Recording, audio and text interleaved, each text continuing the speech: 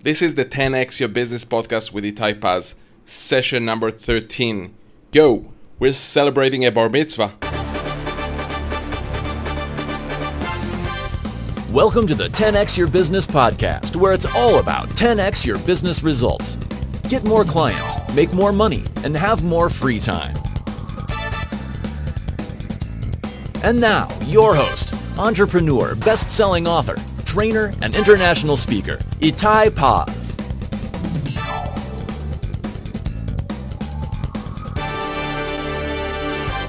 Welcome back to the 10x Your Business podcast. I'm so excited. I have an amazing guest today, Perry Marshall. Perry, thank you for joining us.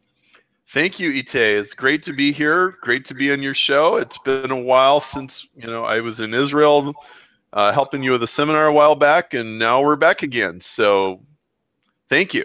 Absolutely, thank you. It was amazing when you were here. I was able to, you know, you were you were on stage, and we had a great time afterwards and traveling. And you know you're one of the you know senior guys in the industry. Uh, I, I, I say you know i call it the godfather of google adwords. You know you're a best-selling author. You wrote this book which i love.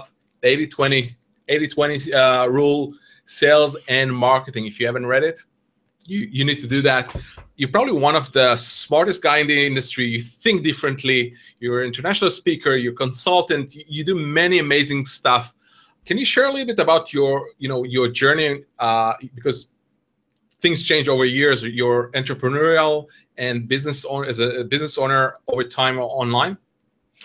Um, my education was in engineering, and you know, I guess uh, from pretty early on, engineering got jammed together with sales, and it happened because I got recruited into Amway when I was 21, and um, and so I ended up kind of being this two-headed monster. So, you know, I I've never left the engineering behind. Really, um, uh, on a surface level, people think, oh, what you do, well, that's like totally different than engineering. Like, actually, no, it's not.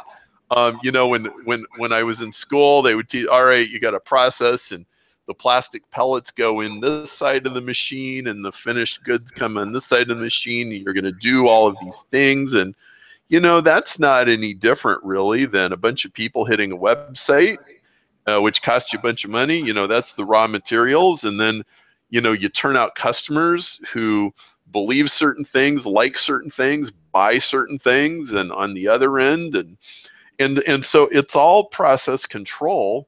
Um, and and it's all numbers and and the world has never been more numbers driven than it is right now and it's just getting more that way but then there's that quirky aspect of human beings you know how do you deal with those crazy human beings um, and and that's the fast that's the art that's the art of marketing and so i, I really embrace both and i, I just kind of keep going back and forth and i guess you know that just having that background gives you a really different perspective than a lot of other people you know and another thing that comes to mind is you know one of my friends a long time ago he goes well you know perry you know a lot of those internet marketing guys never actually had a real job. And um and he says to me he goes you know you used to you used to sell industrial hardware and software to factories. And like you know you can't ship a bag of smoke to those guys. Like it has to work. You know downtime is $15000 an hour or a minute or you know some it's actually yeah like $15000 a minute. So like you, you can't mess around. You can't make stuff up and you know if you under promise by 1% that's okay. If you over promise by 1% eh, you're dead right? And so you know that that's another piece of it is is i i take business really seriously. You know there's there's careers on the line there's jobs on the line there's futures on the line. You know um, you know i got a bunch of employees and they all have families and they have you know but just think about all the customers think of all your customers Itay how many people do you affect and how many guys are you know working on stuff and they they say to their wife, you know, Itay says, Itay says, Itay says, and she's like, who's this Itay guy? Well, he's an important guy. Um, he affects what they do. He affects what the, the inventory they buy and the promotions they do and how they get customers. You know, this is this is a big deal. so go ahead. Sorry. I'm going to move because it's noisy.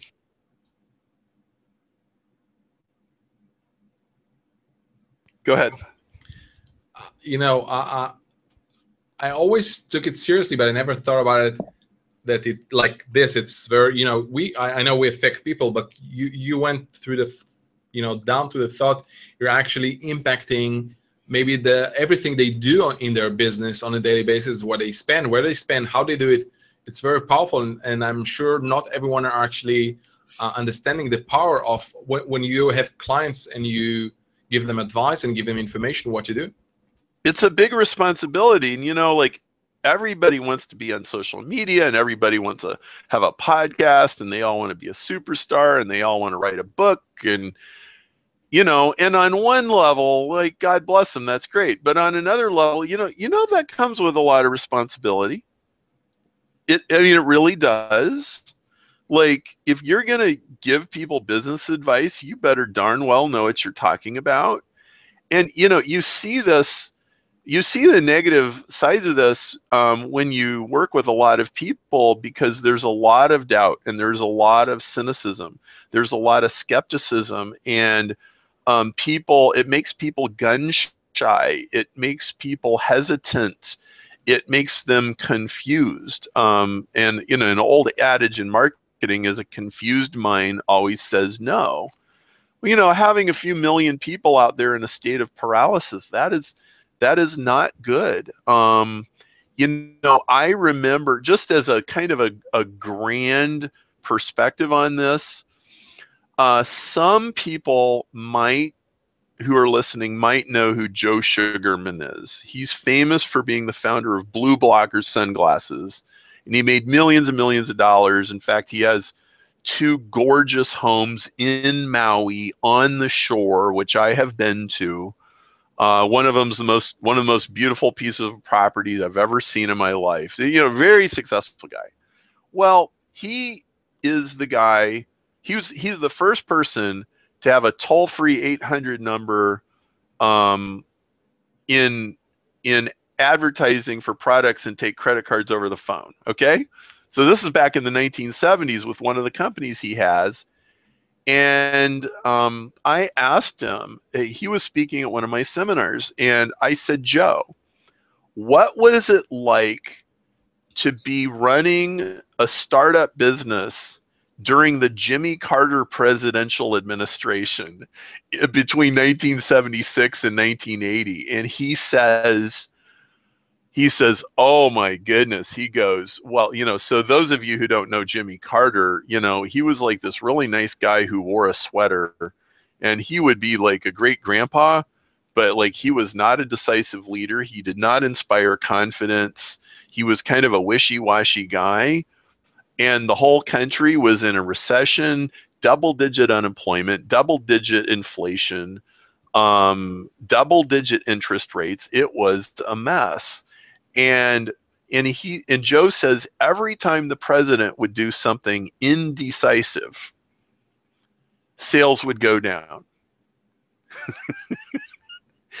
and now to, to give you a contrast to that, I remember when I was just a kid, but Reagan got voted into office.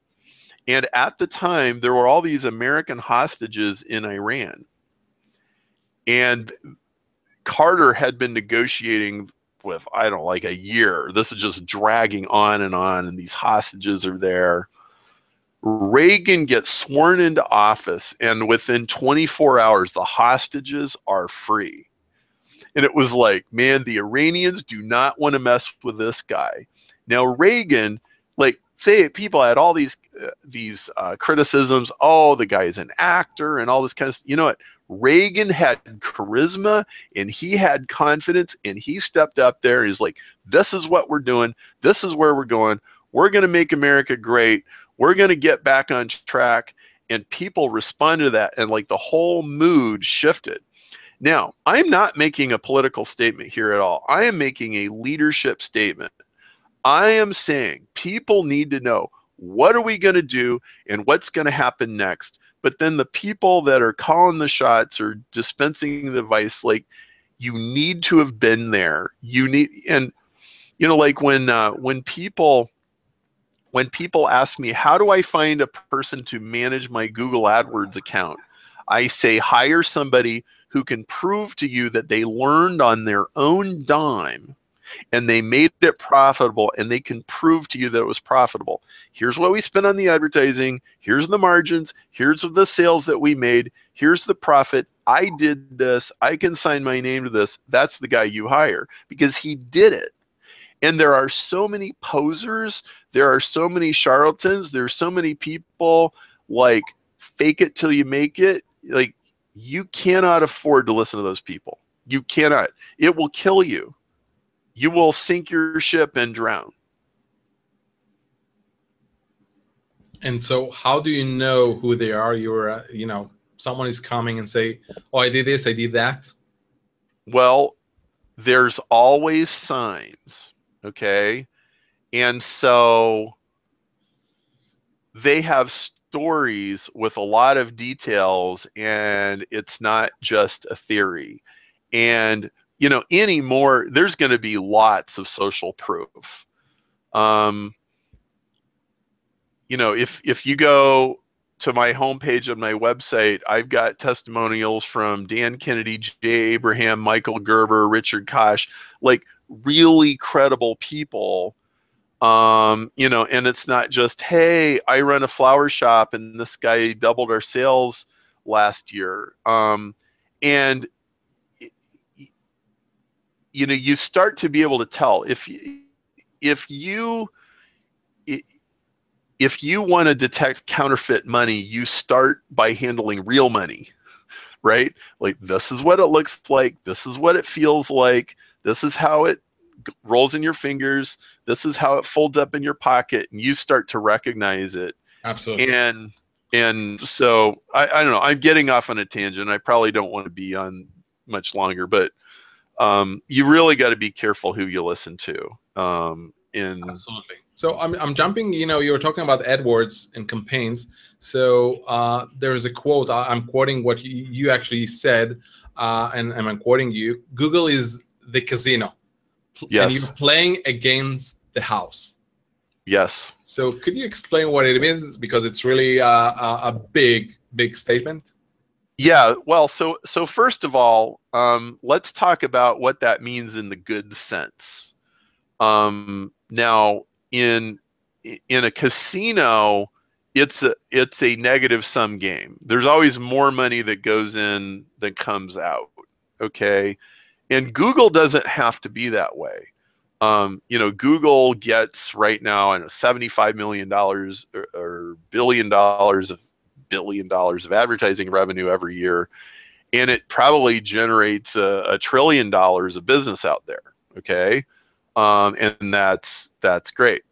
Um, and so, in that sense, you know, it's not we're not just carving up pies.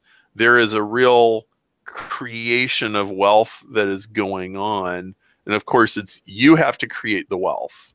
Um, through the product and your sales story and, and everything like that. But Google is like a slot machine. You put money in and you pull the lever and you put money in and you pull the lever. And it's all a game of, well, can you get more money to come out than goes in? Um, and so that's that's the positive side. But there's also a negative side, which is, you know, Google is not really your friend. Now, in theory, they could be.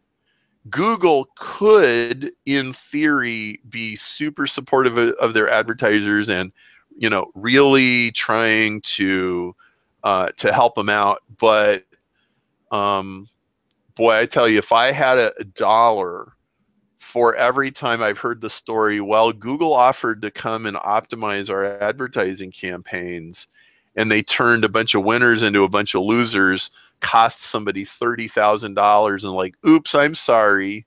Like, this has happened a lot. Okay.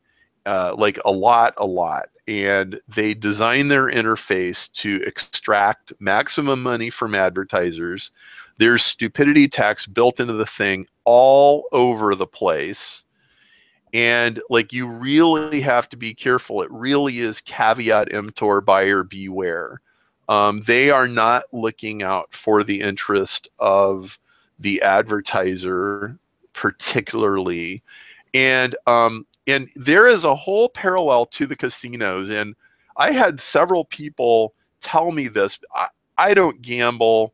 I don't really even like to go to las vegas. I, I think it's kind of a negative place but there's a lot to be learned there you know my my friend john paul mendocha he's on my staff and he helps us with a lot of consulting projects. He's a brilliant strategist and he cut his teeth in vegas.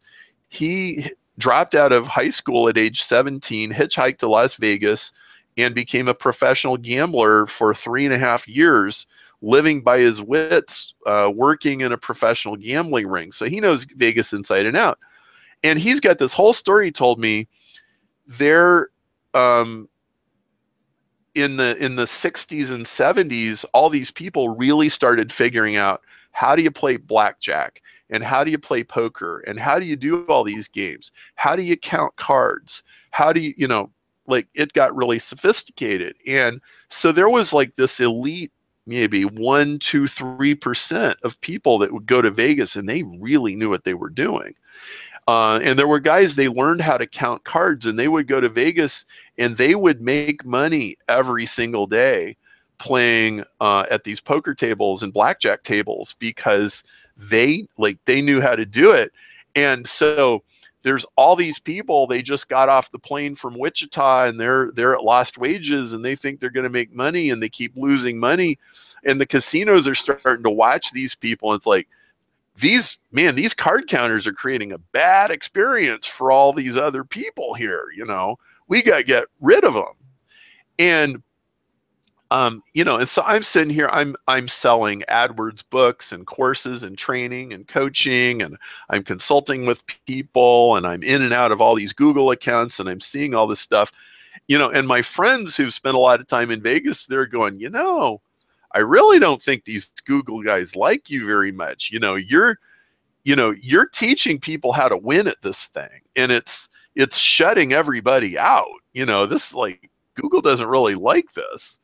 You know, like wow, you know, and and um and and so in this same thing happened with the casinos. Like the casinos they they got laws passed you know you can't count cards they're installing security cameras they got all these guys walking around watching what's going on they're paying attention to how much every person is making uh, you may be asked by the staff to leave and not come back and like when you come back they'll recognize you because their security knows who you are you know and so there's uh, there's definitely a little bit of similarity um, when when you're playing the game um, in in pay per click. Uh, now I'll also say, you know, it's also gotten very corporate, and there's you know Google knows the 80-20 rule better than anybody. And they know that 50% of their income comes from 1% of their advertising accounts, and they love it they love it when big dumb corporations just dump money into the AdWords system and do and not be very effective and not be very efficient but still bid up the bid prices. They love that. So when you're playing this game you need to be really sharp. Do not even think about playing the AdWords game without getting a really solid education because if you don't get that education your clock will get cleaned and you won't even know what happened to you. It's amazing. And how do you see facebook? Is that the same or similar analogy you know, Facebook, um, you know, I got banned from Facebook for about nine months last year. Um, but Facebook does seem to be less adversarial with customers than Google was. Um, I'm not sure why that is. It it might be simply that it's, you know, in Google AdWords, especially back in the day, it was pretty easy to be anonymous. Like there was lots of people just hiding behind a website and driving Google traffic, and you didn't even know who they were. And it's not really possible to be anonymous on Facebook. So maybe the environment just lends itself to to fewer problems. But you know, look, Facebook is also a big giant machine, and they're going to award the people that make them the most money per thousand impressions. Um, I have to say, the technology is evolving so fast, and the targeting. I mean, Facebook is really sophisticated. And I, I, have a book on Facebook advertising too. It's called Ultimate Guide to Facebook Advertising, and it's co-authored with Keith Krance, who is a absolute Facebook genius. And so, um, you know, the, the the technology is now evolving faster than people can learn how to use it. It's really interesting. They are pouring a ton of money in developing the platforms, and it, it's um, if if you can be on the cutting edge, if you can be in the top one percent of pay per click, it's amazing time to be alive. Absolutely. So you you were talking about 80 20 uh, so like like I said, I have the book, you know, the 80-20 uh, sales and marketing. So in your perspective, what is the effect or, or how does it how do you uh, take it into implementation or make gun, main guidelines when thinking about 80-20 in marketing and sales? Well, you know, most people I think sort of know what 80-20 is. Most people that are listening to this interview probably know that 80% of your sales are going to come from 20% of your customers, and they know a few things like that. But first of all, I would like to suggest that most people don't actually know what 80 20 really is. Um, that would actually be the best assumption that you can make. Um, I thought I knew what 80 20 was uh, quite a few years ago. And one day I suddenly had this giant epiphany and I realized I, I had never recognized it for what it really is. So, what is 80 20 really? Well, I thought it was like this rule of thumb that applied to certain things in business and that just business people sort of talk about it. No, it's actually a master law of cause and effect. Uh, what do I mean by that? Uh, so, let's say that we we take your kitchen table and there's a leak in your roof and you, we start dripping water on your kitchen table. Well the water is going to run off somewhere and make a puddle on the floor. Well if it, it doesn't matter how flat you try to make your kitchen table the water is not going to spill off the edge evenly in every direction. You can't get it to do that. There will always be some direction where it's not completely flat and it's going to run that direction. And as soon as that happens, well, if that water drips for a year or a million years, like you'll you'll get a Grand Canyon. So that groove will start to get deeper and deeper and deeper and then it will start sprouting complexity and you know and it'll like that grand canyon thing will happen. Now that is an embodiment a pure embodiment of 80-20 is all you need is a little bit of something happening somewhere and you'll get a reinforcement of the process. In the case of the water it's well the water just because the water is running at all it starts wearing a path in your table and it makes a little river and then the river makes a deeper river and that's 80 it, that's 80 20 so you go to the grand canyon and you look at all those little ripples on the rock and all the grooves and everything that's 80 20 everything is like that. Uh, the size of craters on the moon the size of sands on the seashore um, the size of files on your hard drive how much customers spend, which products they buy, customer service support tickets. It goes on and on and on. So, first, you have to understand this is absolutely everywhere. The second step is there's always an 80 20 inside every 80 20. Um, so we you can open a little window on your hard drive and look at your files and you can sort them from biggest to smallest and I guarantee you 20% of the files take 80% of the space. But what's also true is 20% of those files take 80% of that much space and 20% of those files take 80% of that much space, right? So if your hard drive's full, you can probably clear, you know, like 10% of it by deleting three files and you don't have to go through 300 you only have to do three um, and so there's an 80 20 inside every 80 20 so 80 20 is fractal. It's pattern within a pattern within a pattern within a pattern. It actually it goes on infinitely. This is so powerful. In fact that's really kind of the whole theme of the book. Now there, there's a third part of 80 20 which is you don't just look at it in the rear view mirror. You use it to make predictions. You can use it forward. You can you can use it as an alchemist. You can use it as a tool for your imagination. So for so here's an example. Um, in one of the chapters of the book I, it's called the the starbucks principle of the $2700 espresso machine. And um, and in in the book i've got this little tool. And it's called the 80-20 curve. It's at 8020curve.com. And if you learn how to use the tool, we've got a little instruction on the website. You can you can look at things and you can make predictions. So you can say, well, I've got 5,000 people every month coming into Starbucks and they're all spending $2 on a cup of coffee. Well, 80 20 says, well, then I can pretty much guarantee you that at least one of those people will buy a $2,700 espresso machine. And it's almost a law of physics. I, it's, it's pretty much guaranteed that out of those thousands of people, one of them wants to spend two or three thousand dollars on coffee and 10 of them want to spend two or three hundred dollars on coffee and at first you're like how are you going to spend two or three hundred bucks on coffee? Well, you're going to go buy something like an espresso machine. And the funny thing about the person that buys the stainless steel $2,700 espresso machine is they're back at Starbucks the next day buying another latte.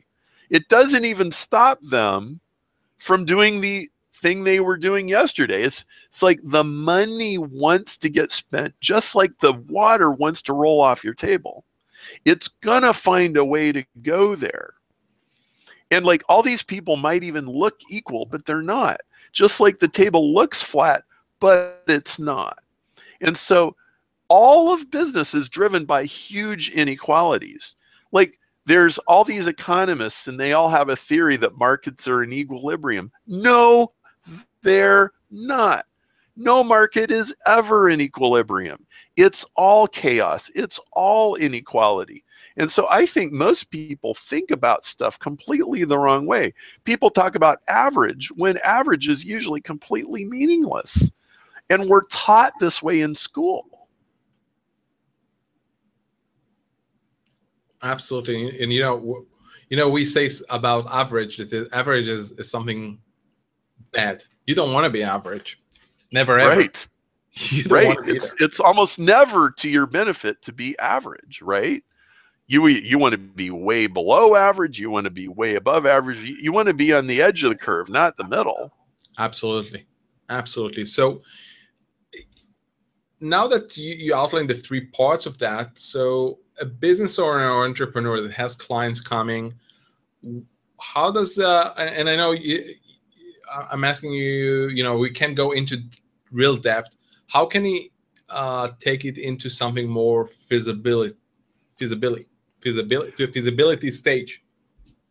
Well, so the the first thing is is to recognize this. You you should be able to open almost any spreadsheet or any financial report and you will if if you start looking for it like you'll see it everywhere um, the the number one purpose of 80-20 sales and marketing is that by the time you've read the book and it's an easy book to read it's it's a it's it's it's a it's a fun read that by the time you've gone through that book, you have seen 80 20 so many places that you literally you can no longer look outside your kitchen window and not see 80 20 it is everywhere and when you can see 80 20 everywhere you can walk into any business including your own and you can go oh yeah 80% of the support tickets are caused by 20% of the problems i can't solve 140 problems but i can solve four I can get rid of this one, this one, this one, and this one, and 60% of my support tickets go away. Okay. Here, here's another one. Um, 20% of what you do makes 80% of your money. Now, most of the time, what we talk about in, in marketing is we go, okay, so let's look at the 20% that you're doing that's making 80%, or let's look at the 4% that's creating 64% of your results, and let's do more of that stuff. And it's about more and it's about growing sales, and that's fine. But there's another one thing that I want you to think about is you could reduce your sales by 20% if you picked the right 20% and you could still make 80% as much money and only work three hours a day instead of working eight hours a day. Now, almost nobody actually seriously tries to do that. Most people are so obsessed with more, with pushing the envelope, with looking for more things to do, and we don't even realize it, but it really is true. Now, in order to do that, you're probably going to have to kind of take your business apart and put it back together. And I'm finding myself doing that with a lot of private clients where we really roll up our sleeves and work with them. Um, and a lot of times people are not going to do this at all unless they're forced to. Like there's an economic correction or the market suddenly shifts underneath you and you know you used to have this product line it was selling great and all of a sudden nobody wants to buy it anymore right and you got payroll to meet or something like this but you know there there really is this huge tendency for businesses to become much complicated more so than they were ever intended to be or ever should have been. Uh, complexity creep is all just automatic. And we and then we get our egos invested in stuff. Like oh i love that product. You know i was you know and you get you fall in love with these things or or you really like employees that aren't actually useful to you anymore and you think you're obligated to keep them around and actually you're not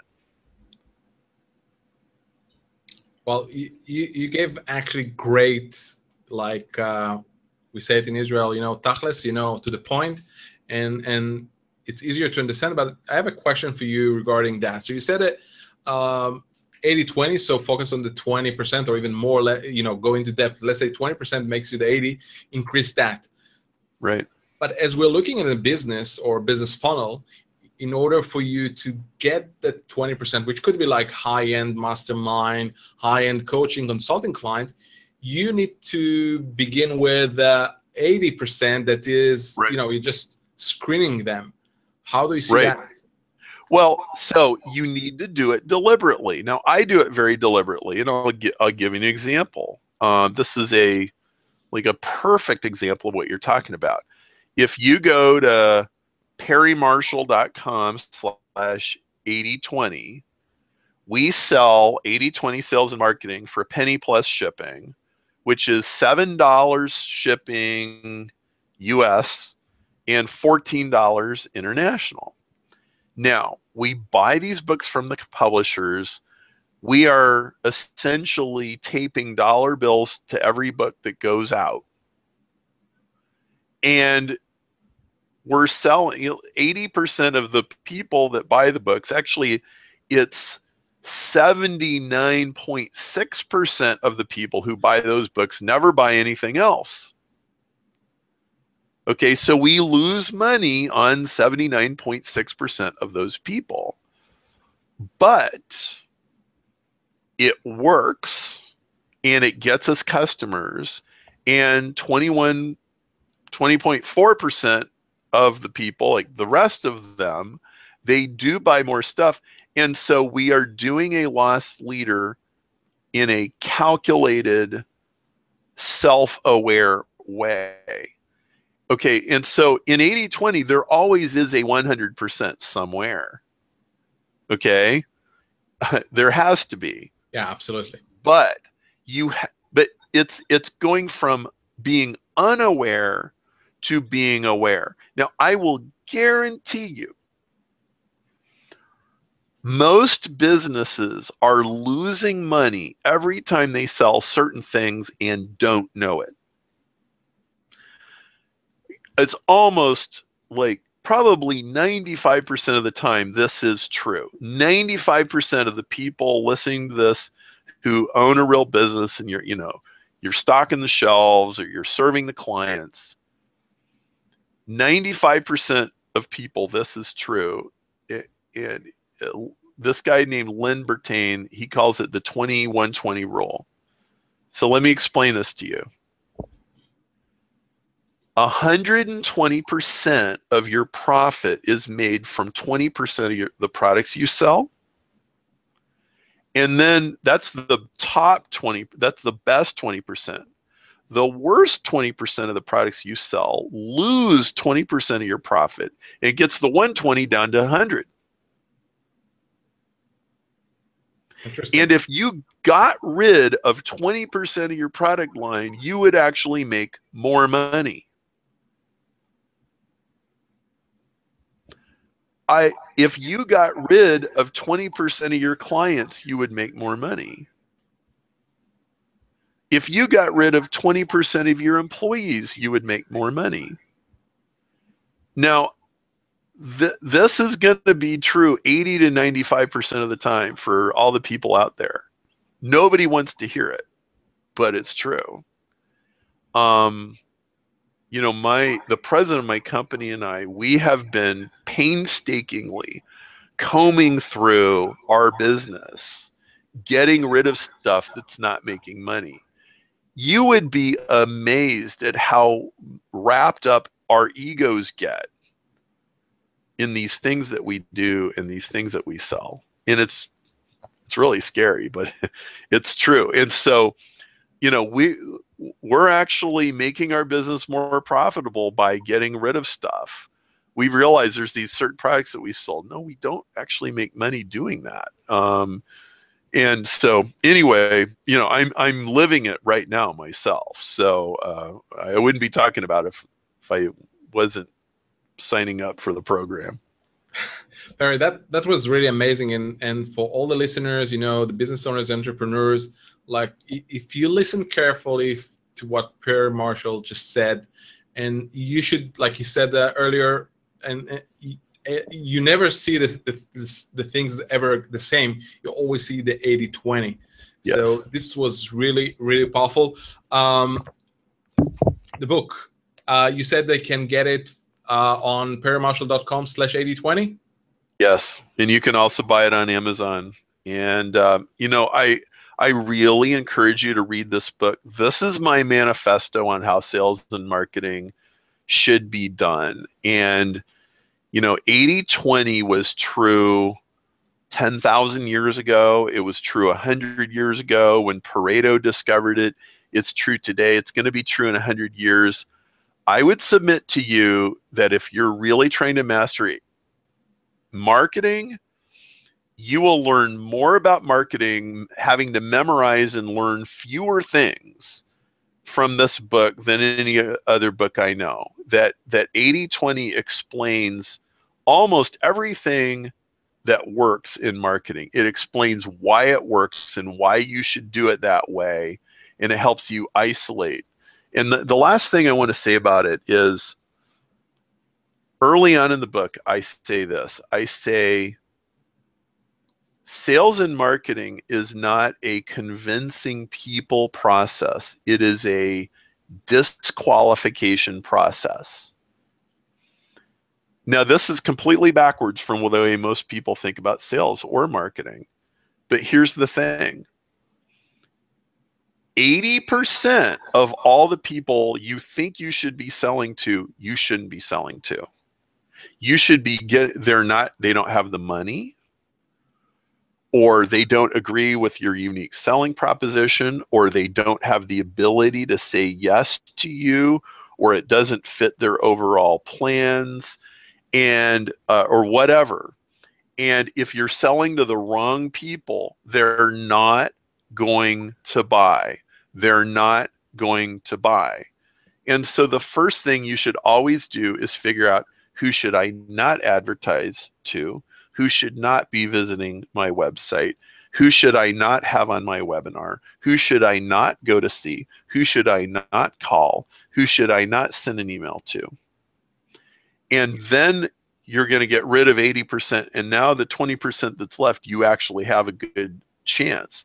And you can so reduce your efforts. You know, and so there's all these old school sales guys, and they're like, it's a numbers game, it's a numbers game. Just just keep making more phone calls and just keep it's bad advice. Okay. And the rookie sales guy in his heart, he knows it's bad advice, but he doesn't have any track record. He doesn't have any credibility. He doesn't know anything.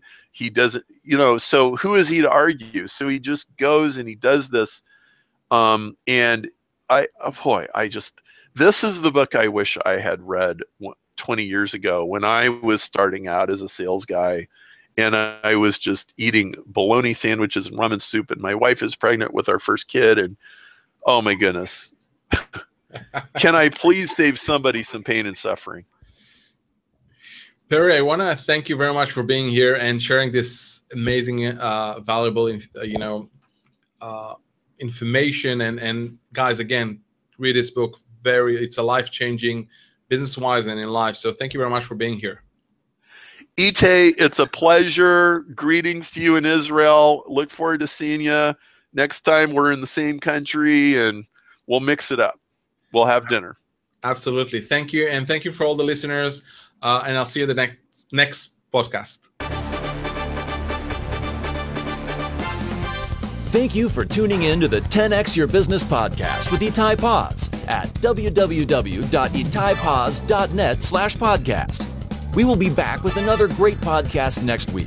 If you're digging what you're hearing, your next step is to go to iTunes and in the search box, type 10x Your Business. Click on Itay's picture and go ahead and subscribe to the podcast. And if you're feeling generous and you want to help other business owners and entrepreneurs like you to find this podcast, then give us your rating and review. Thanks for tuning in, and we'll see you on the next one.